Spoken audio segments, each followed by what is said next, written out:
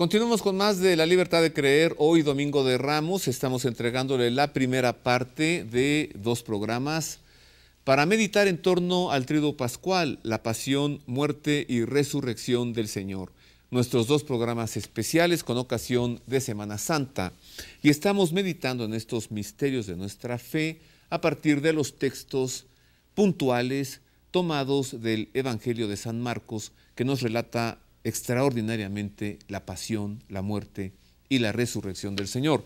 Me atrevería a decir que de los cuatro evangelistas es el relato de San Marcos el que presenta de manera más cruda, seca y dramática la muerte de Cristo en la cruz. Su expresión son apenas unas palabras en las que escribe el evangelista y lanzando un fuerte grito, expiró. Así y lanzando un fuerte grito, expiró. Seis palabras. Bueno, todo esto estaremos revisando en estos dos programas especiales. Vamos ahora al anuncio de la traición de Judas. Mire, hay un valor que se llama lealtad. ¿A quién se debe lealtad? A los amigos, principalmente, a los superiores también. Y cuando hay falta de lealtad, ¿cómo se llama? Traición. Entre los doce apóstoles había un traidor, es decir, alguien que no supo ser fiel a la lealtad. A la lealtad a Jesús y a la lealtad a sus amigos, a los otros once discípulos. Es el traidor por excelencia, Judas Iscariote. Vamos a conocer enseguida cómo San Marcos nos refiere algo que Jesús ya sabía y les dice a los demás, uno de ustedes me va a traicionar. Miren. En Altura, nuestra naturaleza es hacerlo mejor cada día. Altura presenta.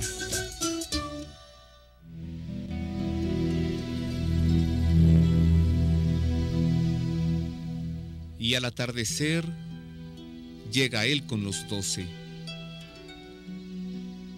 y mientras comían recostados, Jesús dijo, yo les aseguro que uno de ustedes me entregará, el que come conmigo.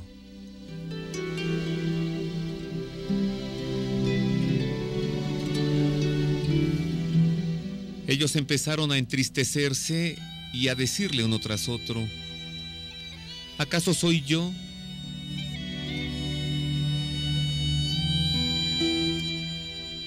Él les dijo, uno de los doce, que moja conmigo en el mismo plato.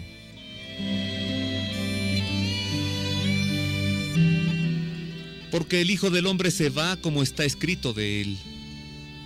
Pero hay de aquel por quien el Hijo del Hombre es entregado. Más le valdría a ese hombre no haber nacido.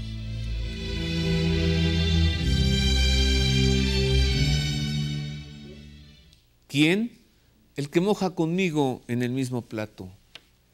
A ver, ¿estaba Judas así en ese momento? No, es un signo.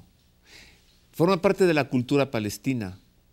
Uno convida a comer de su plato a quien es el hombre de confianza, a su amigo, a los íntimos. Es una costumbre que también tenemos los mexicanos. Cuando estamos en familia o con los amigos, le decimos, ¿quieres comer de mi de mi plato, mira, prueba mi mole, ¿no? Y hasta tortillita, ándale, te doy. No lo podemos hacer quienes, con quienes son distantes. Así que Jesús está expresando un signo. No es que Judas esté mojando el pan. Lo que está diciendo el Señor es, ¿quién me va a traicionar? Mi mejor amigo. Wow. Una tristeza adicional. ¿Quién lo va a traicionar? A quien Él quiere mucho. En quien tiene puesta su confianza lo que le decía hace rato, la falta de lealtad a la amistad, la falta de lealtad a la confianza. Eso tiene una palabra muy fea, se llama traición. Si me permite una breve meditación entre usted y yo, nunca traicionemos, porque faltará la lealtad de los amigos o a quienes le hemos dado nuestra confianza, es recordarle al Señor que somos como aquel Judas Iscariote en quien Él confió, a quien le entregó su amistad.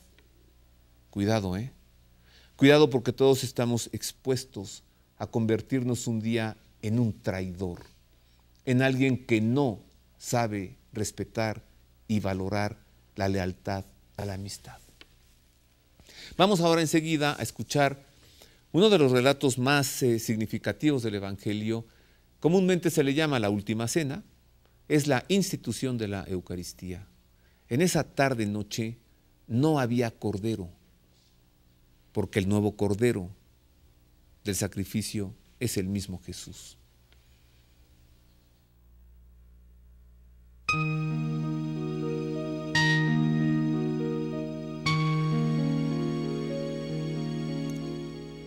Y mientras estaban comiendo tomó pan, lo bendijo,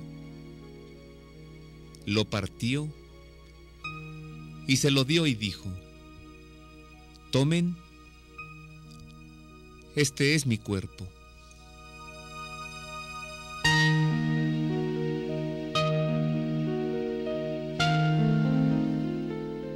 Tomó luego una copa y dadas las gracias, se la dio y bebieron todos de ella.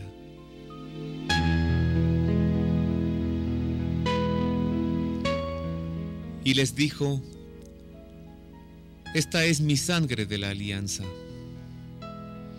que es derramada por muchos.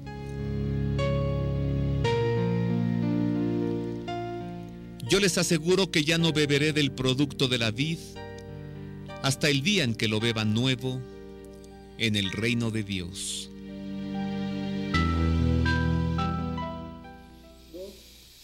En toda cena de Pascua judía son infaltables los panes ácimos, las hierbas amargas, el cordero y el vino.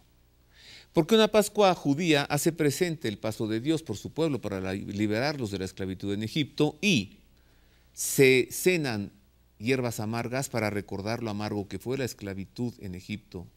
Panes ácimos para recordar la premura para dejar Egipto e ir a la libertad y llevar algo para el camino. El cordero, porque así Dios lo pidió. Maten un cordero, unten su sangre en los dinteles de sus casas y después coman el cordero. Y el vino, porque es el signo del amor. El Señor es mi pastor, nada me falta. Él llena mi copa, la rebosa, me sirve un banquete. Y cada año la Pascua judía trae esto al momento, es un memorial. Ah, pero Él, el Señor, hace nuevas todas las cosas y lleva esto a la plenitud. Y en esa cena están las hierbas amargas, el pan, el vino, pero no hay cordero. Yo me imagino a los apóstoles esperando el momento en que entrara el cordero al horno, ¿no? Y se habrán preguntado unos a otros, ¿y el cordero? Y en eso el Señor les dice, no, no hay cordero porque ahora el cordero soy yo.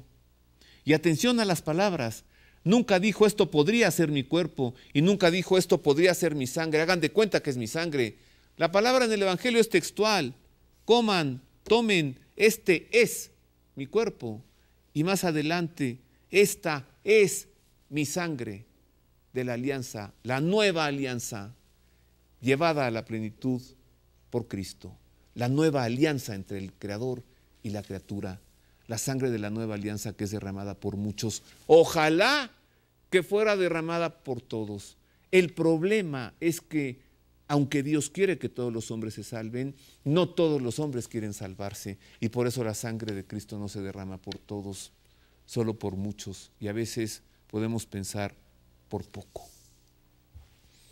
La naturaleza humana es endeble. Pedro dijo una gran cosa cuando lo negó. Es verdad, él dijo, yo no conozco a este hombre. Es que, es que no lo quería conocer así. Es que Pedro esperaba a un Cristo, un Mesías triunfante y poderoso. Y Jesús también predice este momento. Pedro, por favor, Pedrito, te conozco bien, hombre. Eres el pescador de Galilea, eres muy bravo, muy arrojado, pero, pero antes de que amanezca, me habrás negado tres veces.